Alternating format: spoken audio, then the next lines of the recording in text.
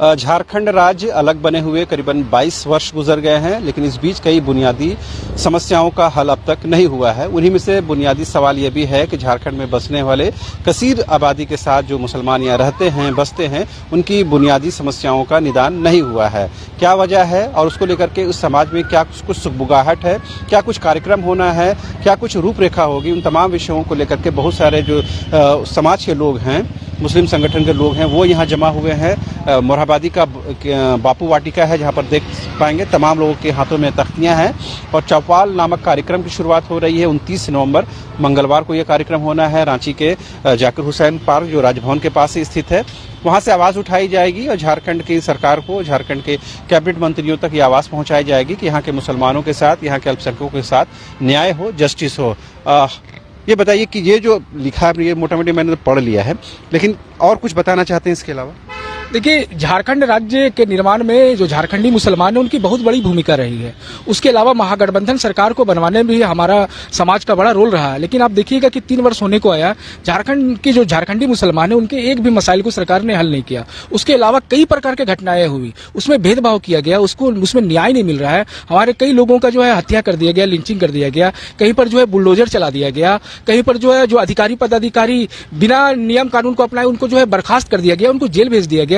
ऐसे अनेकों मामले आए और हम उस पर न्याय की मांग कर रहे हैं, लेकिन सरकारी स्तर पर जो है उपेक्षा की जा रही, भेदभाव की जा रही, ऐसे कई सवाल है। आप देखिए कि जो संवैधानिक अधिकार है, जो बोर्ड निगम आयोग है, तीन वर्षों में उसका भी गठन नहीं किया गया। उर्दू के मसाइल, उर्दू शिक्षकों की बहाली का तीन हज़ार सात सौ बारह पद खाली पड़ा हुआ है। उसी प्रकार हाई स्कूल में जो उर्दू शिक्षकों का पद है, मदरसों का मसला अलीम फाजिल की परीक्षा जो है, हो नहीं रहा है जैक लेना नहीं चाह रहा है और हम लोग विश्वविद्यालय से कराने की मांग कर रहे हैं। रोज़गार का मसला है किसान का खेत का मसला है अधिकार का मसला है, हमारे लोग जो है प्लाइन कर रहे हैं। उनको जो है रोज़गार मुहैया कराना। सरकार एक तरफ़ बोल रही है कि हम लोग जो है ऋण मुहैया कराते हैं, लेकिन हम लोग जब आंकड़ा खोजते हैं या देखते हैं तो हमारे लोग नज़र नहीं आती हैं। तो सरकारी सतह पर जो वादा किया गया है, जो महागठबंधन सरकार ने जो अपना मैनिफेस्टो जारी किया था, उस मैनिफेस्टो के मुताबिक एक भी काम नहीं किया गया। तो हम लोग जो है इन सारे मसाइल को लेकर उनतीस नवंबर को जाकिर हुसैन पार्क राजभवन के सामने चौपाल कार्यक्रम लगाएँगे और ऐसे कई मसाइल इसमें उठाए जाएँगे और अलग अलग जिलों के जो जो सामाजिक कार्यकर्ता हैं, जो समाज के मुद्दों पर काम करते हैं, उनको आमंत्रित किया जाएगा।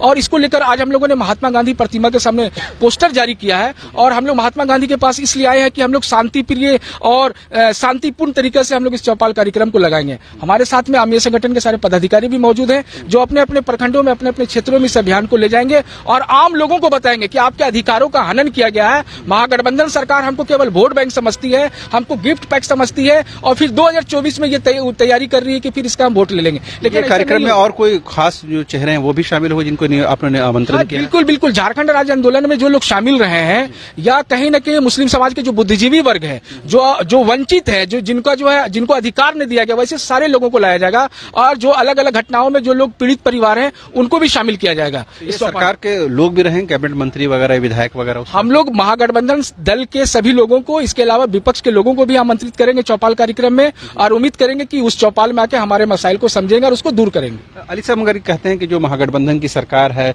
इसे अल्पसंख्यक अल्पसंख्यक समाज के लोगों ने बड़ी संख्या में उनको सपोर्ट किया है खास करके इलेक्शन के दौरान।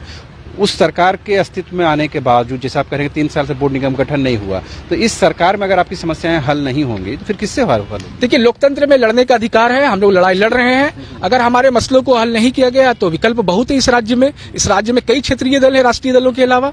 हम लोग उस पर भी विचार करेंगे लेकिन ये चौपाल में निर्णय लिया जाएगा। जी। तो ये क्या माना जाए कि सरकार को ये बताने की भी कोशिश है कि आप अल्पसंख्यकों से जो वादा किया है, उस वादा को पूरा कीजिए और 2024 का चुनाव भी बहुत ज़्यादा दिन दूर नहीं है, उस पर भी असर पड़ सकता है? अब बिल्कुल बिल्कुल, हम लोग का मांग है सरकार से, चूँकि हमने उनको वोट देकर सत्ता में लाया है। हमारा ये अधिकार है, हम उनसे मांग कर रहे हैं, शांतिपूर्ण तरीके से। ऐसा ना हो कि आने वाले समय में हम लोग को जो है लोकतांत्रिक तरीके से सड़क पर उतर कर लड़ना पड़ जाए, और हम उम्मीद करते हैं कि मुख्यमंत्री इन बातों को समझेंगे।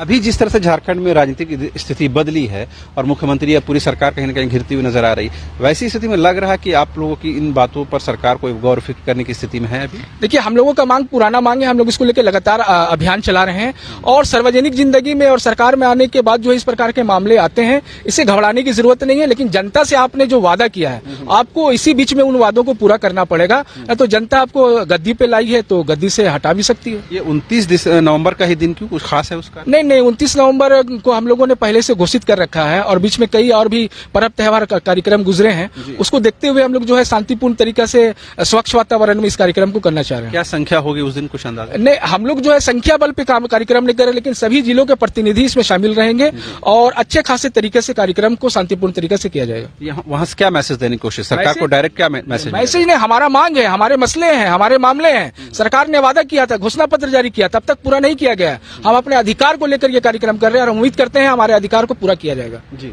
बहरहाल आपने सुना, आमिर संगठन के एस अली साहब, शमीम अली साहब ने कहा कि किस तरह से महागठबंधन की सरकार तीन वर्षों के बाद भी उनकी बुनियादी समस्याओं का हल नहीं कर पाई है। खास करके उर्दू की जो समस्या है, जो अल्पसंख्यक समाज की जो समस्याएँ हैं उर्दू शिक्षकों की जो समस्या है, उन समस्याओं का निदान नहीं होना, ये कहीं ना कहीं बताता है कि सरकार इस समाज के समस्याओं के हल को लेकर बहुत ज़्यादा गंभीर नहीं है। लिहाजा उनतीस नवंबर की तारीख मुकर की गई है और उस दिन सरकार को और ये पूरी झारखंड की जनता को ये मैसेज देने की कोशिश होगी कि किस तरह से उनको सिर्फ़ एक वोट बैंक के तौर पर ट्रीट किया जा रहा है। फ़िलहाल मुझे और मेरे कैमरा सहयोगी संजय को दीजिए इजाज़त। नमस्कार। फैमिली एंड फ्रेंड्स के साथ आउटिंग हो या रांची आकर ठहरना हो, या हो एनिवर्सरी बर्थडे मैरिज पार्टी या किटी पार्टी या फिर करना हो कॉरपोरेट गेट टुगेदर आपके हर ओकेजन और मोमेंट को यादगार बनाने के लिए आपकी सेवा में तत्पर है। Hotel Harsh regency 26 AC and non-AC rooms, multi-cuisine resto for delicious food. Hotel Harsh regency में आपके लिए उपलब्ध है हर आयोजन के लिए perfect banquet hall hotel Harsh regency guest house banquet and restaurant Suvarna Rekha pull Hatia Ranchi.